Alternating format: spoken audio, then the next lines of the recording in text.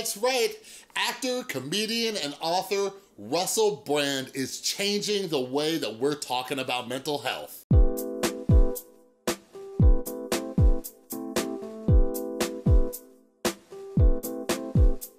What is up, everybody? This is Chris from The Rewired Soul, where we talk about the problem, but focus on the solution. And if you're new to my channel, I am somebody who is very, very passionate about mental health. So if you're into that kind of stuff, make sure you subscribe and ring that notification bell.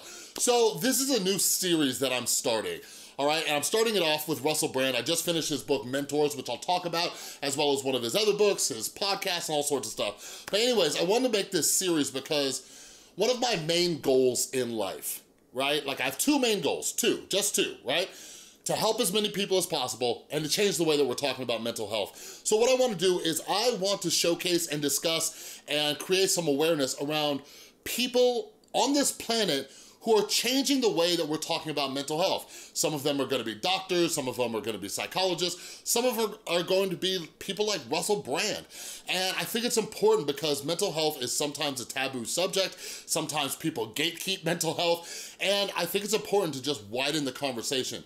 So Russell Brand, oh my God. So like I, I'll be honest with you, never a huge fan of his movies. His comedy, I've been like, eh, this is all right. And yeah, I was first introduced to the other things that Russell Brand's doing. Um, I believe last year, I think I started watching some of his podcasts because he had on a lot of interesting people who I follow, um, such as meditation teachers and things like that. Then he launched his book, Recovery, last year, and I'll talk about that one in a second. But anyways, on Russell Brand's YouTube channel, he covers a wide range of subjects. You can tell that he's very into Buddhist philosophy, but he's also a recovering addict like moi. So I really relate to him on that level. But anyways, um, over the weekend, I binged his book, uh, Mentors. Uh, the audiobook just came out. I think the actual paperback came out earlier this year, but the audiobook came out. And if you're interested in Russell Brand's books, I'll link them down below. I highly recommend the audiobooks because Russell Brand, he is a funny dude, and like he interjects that into his books. So since he narrates them, it's awesome. But anyways, the book Mentors, I think the audiobook was only about three hours or so. Most books are between like five and seven hours. Um, some can be much longer than that. But anyways, in his book Mentors, like, God, I cannot tell you how important it is to have mentors. Like basically, like Russell Brand is just explaining why we all need mentors, how we could all use mentors. And he talks about the various mentors he's had throughout his life, as well as how he has become a mentor himself. So a mentor is basically somebody who passes their knowledge and wisdom onto you, right? And he talks about the various mentors he's had. Um, first one starting out with like a 12-step sponsor, but then he talks about, you know, his mentors in like Brazilian Jiu-Jitsu. I think he even mentions like a therapist being a mentor and just other mentors who have helped guide him through different parts of his life or different aspects of it. And I like the way he explains it too. Mentors are often people who can not even necessarily pick up like the slack that our parents had. Well, some of us need that, but they, they can fulfill roles that our parents didn't fulfill with us. So there are many things in my life that were not taught to me, but now I have mentors. And mentors are something that I've been taking advantage of for probably the last year or so, but more specifically in the last few months. Like when I first got into 12 step programs, much like uh, Russell Brand, like kind of like one of the, you know, ways to kind of find a mentor is find somebody who has what you want, right? And they'll teach you the steps to get there. So when it came to my recovery, I wanted somebody who had sobriety, some sanity, and some serenity. Those are the only things I was looking for. And my first sponsor, boom, nailed that, right? But now, as you know, I, I've been sober for, you know, over six years now, I've asked a few people to mentor me in different aspects, you know? Um, some of it is with my YouTube channel, some of it is with business, some of it is with, you know, um, uh, the relationships I have in my life. Some of them are people in the mental health field where I turn to them now more than ever about, hey, do you think I should talk about this or not? Or what do you think, how do you think I could talk about this? And they're basically people who I turn to for advice. And one of the things that like uh, Russell Brand talks about, which I can really relate to is I cannot trust this thing up here, all right? Like many times, many times this thing will lie to me and I know a lot of you can relate to this. We struggle with things called cognitive distortions, right? Like our ego gets in the way, the lies our brain tells us, sometimes it's negative self-talk or anxiety, you know what I mean? So a mentor is a great person to kind of guide you through these things and offer you some advice and some tips and suggestions, right? So in his book, Mentors, he also talks about how he started mentoring people.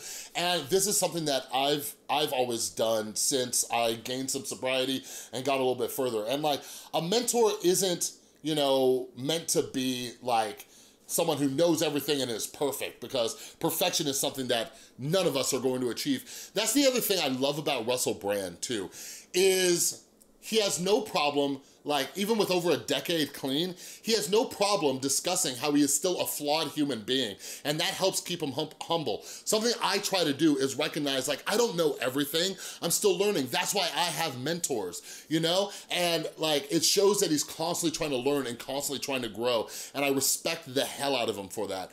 So his other book, Recovery, that came out, uh, I believe it was last year, phenomenal book. So if anybody out there watching this is on the fence about 12-step programs, or you know somebody who is, like, you gotta get this book. He breaks down the 12 steps in a way that many people won't explain them to you. And when I was working at the treatment center, I recommended this book to everybody, so many people. Um, Russell Brand, he like, he changes this 12 steps, like, um, kind of simplifies them in a funny way. There's a lot of F-bombs in there too. But the thing I loved about that book too is, like, and how he's changing the way we talk about mental health, is he talks about how everybody has a thing, right? Everybody has some kind of addictive thing. And he talks about how we we we have some kind of void inside or we're dealing with some kind of pain or not dealing with that pain rather and we're turning to something whether we're turning to love or sex or pornography or buying things or food. We're doing something to escape the way that we're feeling, right? And there are so many things that can cause our lives to become unmanageable. Back when I first did a full review on his book, I talked about how Russell Brand said, us drug addicts and alcoholics, we're the lucky ones because our addiction manifested in a way that you could just clearly see. And it's like, aha, there it is, work on that. But for so many other people, they're turning to a multitude of other toxic behaviors. Like, I would say the number one one that I, I've seen from other people um, who don't have a drug or alcohol addiction is love and relationships. Love and relationships, constantly bouncing from one relationship to another, trying to fill a void they have inside of them, and they just keep repeating that cycle because so many of us refuse to look at ourselves. We refuse to look at what's missing within us and work on fixing that and we keep bringing other people in because we think they're gonna fix us. Speaking of, there's a great stand-up special on Netflix from Daniel Sloss, and it's called Jigsaw. Go watch it. If you're questioning the relationship you're in or relationships you're about to be in, future relationships, like go watch that stand-up special because a lot of it talks about that missing piece and we're trying to find someone to fill that. But anyways, let's talk about Russell Brand's YouTube channel. So like I said, he talks with a lot of meditation teachers. He talks with a lot of people who are like philosophers, people who have just different ideas about the state of the world. And like, I love it. I love it because Russell Brand's just very inquisitive and he, he looks at things from kind of a philosophical angle.